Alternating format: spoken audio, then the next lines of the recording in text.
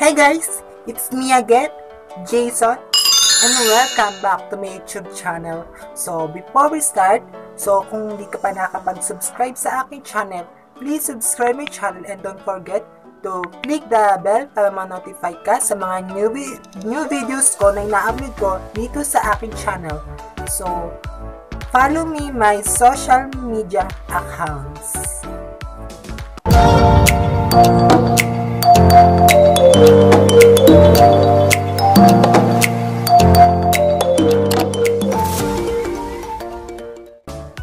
So, alam niyo na kung bakit kinaklik tong video, video kong ito dahil sa um, nababasa niyo naman sa title ko na gagawa, magumukbang ulit ako na gagawa ulit ako ng tananananan. Charot, wala akong ah, wala akong sound effect. So, gagawa ako ng ito. Ito po siya yung ram gulaman unflavored. Ibig sabihin po nito yung black ah, black gulaman. Yung binili ko talaga. So, ito po siya.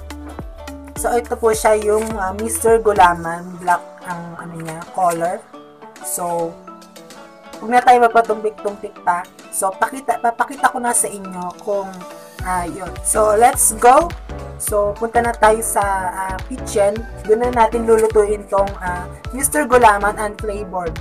So, wait. So, let's get started. Let's go. So, ngayon guys, nandito na kami sa aming kitchen. So, ito yung mga, um, yung, um, ano tawag dito? Yung mga lalagyan, na parang mga container, ganito po siya. So. Ganito po siya. Uh, inanda ko. Ganito po yung mga hinanda kong mga container. So, sa paglalagyan natin ng, ah, dito natin isasalin yung, um, pag nailuto na natin yung ah, Mr. Gulaman. So, ayan po. So, ngayon guys, na sinalang ko na yung, um, so, ito siya.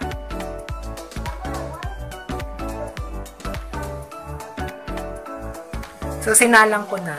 So, hintay na lang natin siyang kumulo bago natin ilagay yung um, Mr. Gulaman unflavored, yung black, ah, black gulaman. So, yun po. Yun. So, finally, na kumulo na yung pinapakulo natin tubig. So, ilalagay na natin yung ah, Mr. Gulaman, yung black. So, yan.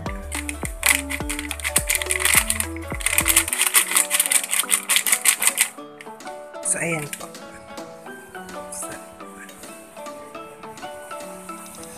So, ayan. Pakuluan lang po natin.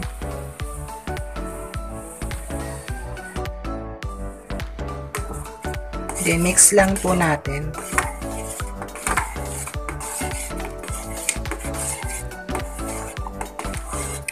So, ayun. So, itatransfer na natin siya dito sa container. Container.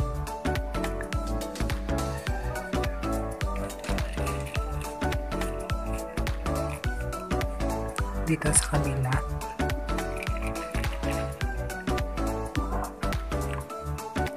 Then, to. And yung pangatlo. So, ayun, may natira pa siya. So, dagdagan pa natin.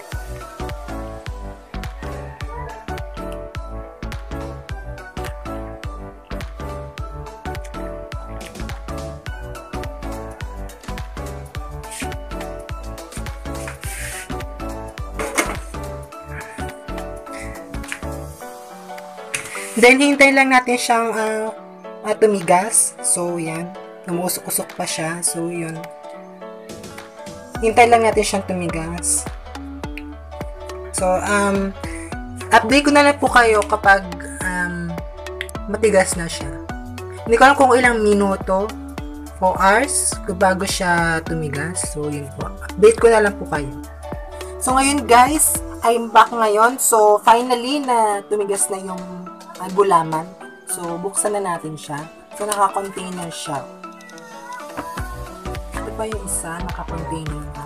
So, buksan na natin siya. Ayan siya.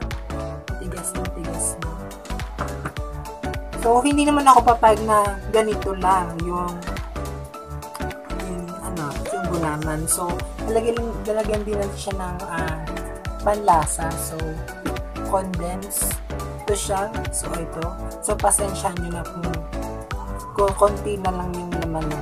Konti, o konti na lang laman yung condense kasi ginagawang kasi ano, titimpla kasi ni Papa yung ganito, yung gatas. Ginagawang gatas. So, so, hindi lang to, hindi lang to yung ibang uh, panlasa na gagamitin ko. So, meron pa po. So, ito po siya. So, ito po ay, ano, condense. Ang flavor niya is pandan. So, ito po. So, natin siya. So, titikman na natin siya.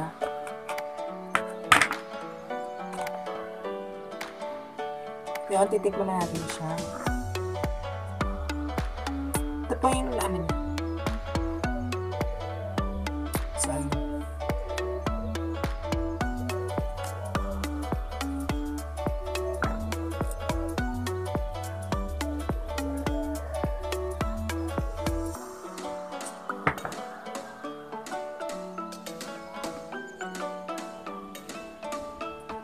So, ikakalap na lang po natin siya ganyan po.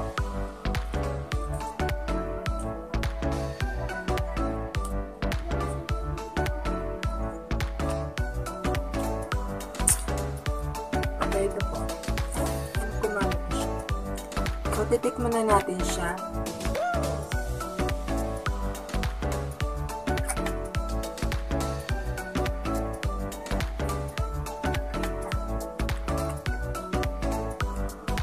Masarap, guys. Hindi naman sa pagsisinungaling o pagyayabang. Masarap siya. So, pwede rin naman siya siguro na pang-business or pwede natin ibenta kapag uh, pagkakakitaan natin. Kung gusto nyo gumawa ng ganito. Yung black gulaman. So, ayun nga pala guys. Kalimutan ko sabihin kanina na um, Nabili ko po yung Mr. Gulaman na sa shade, yung unflavored siya. So, kasi tinapon ko na yung sa basurahan yung um, Mr. Gulaman unflavored. So, nabili ko po siya kanina is 12 pesos lang po siya. So, murang-mura na. So, marami ka na ma mga ganito, yung ma mapaglalagyan. So, murang-mura siya. So, nalagyan ko pa siya ng pandan mix.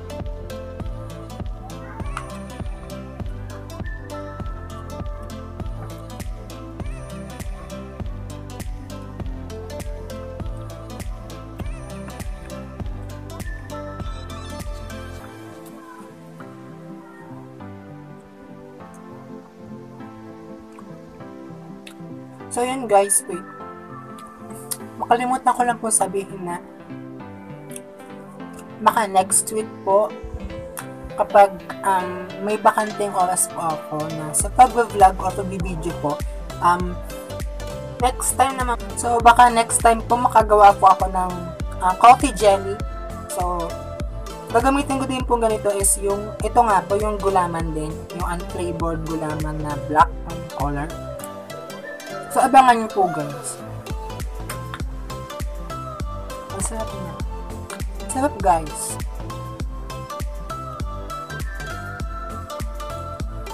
Masarap din yung ano, pan. So, ayun lang. So, yun guys. So, dito po nagtatapos ang aking video sa sa paggawa ng uh, DIY black uh, gulaman. So, plus or yung mukbang ng ano nito, gulaman. So, so kung may natutunan ko sa video ko ito, so kung gusto mo din gumawa ng ganito, so gumawa ka na. So, final, so yun nga guys, masarap siya. So, kung hindi ka pa nakapag-subscribe sa aking channel, please subscribe my channel and don't forget to click the red, uh, to click the bell and subscribe button para ma-notify ka sa mga new videos ko na upload ko dito sa aking channel. So, yun guys. So, fine. So, yun lang guys. Follow me my social media accounts. So, yun lang po guys. And see you on my next video guys.